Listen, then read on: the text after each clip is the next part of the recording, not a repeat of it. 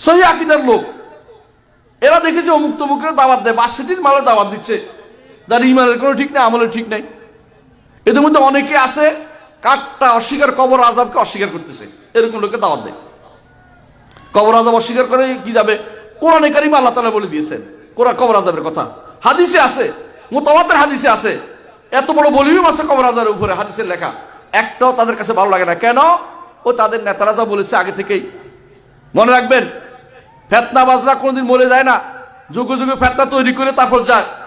আপনার কাছে মনে হচ্ছে মোরতাজালারা চলে গেছে। না, যায় নাই।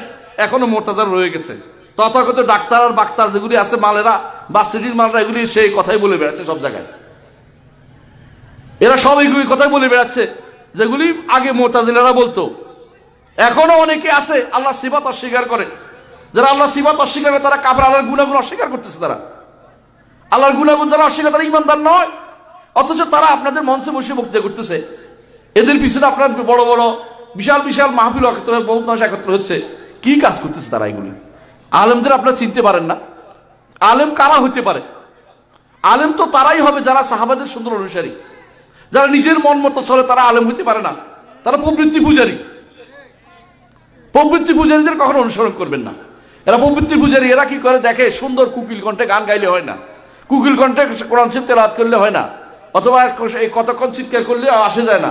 আসল জিনিস হচ্ছে এলমি কথা বলে কিনা, কোরআন হাদিসের কথা বলে কিনা, আল্লাহ তালা এই জন্য বলছেন ফার্স্ট মা তোমার আর দান জাহিলিন।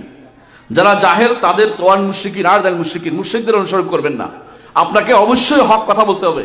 হক কথা বলবেন আপনার বিরুদ্ধে গেলেও, আপনার বাপের বিরুদ্ধে গেল পরিবারের বিরুদ্ধে গেল আল্লাহ তালা বইটা বলে দিয়েছেন কোরআনে কারিমে।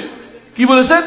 কুনু কাওয়ামিন বিল কিসত শুহাদা আলা নাস ওয়ালাউ আলা আনফুসিকুম কুনু কাওয়ামিন বিল কিসত আলা নাস ওয়ালাউ আলা আনফুসিকুম নিজের বিরুদ্ধে গেল হক কথা বলবে।